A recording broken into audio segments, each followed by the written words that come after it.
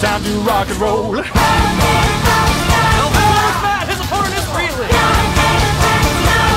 protected by this glass ceiling.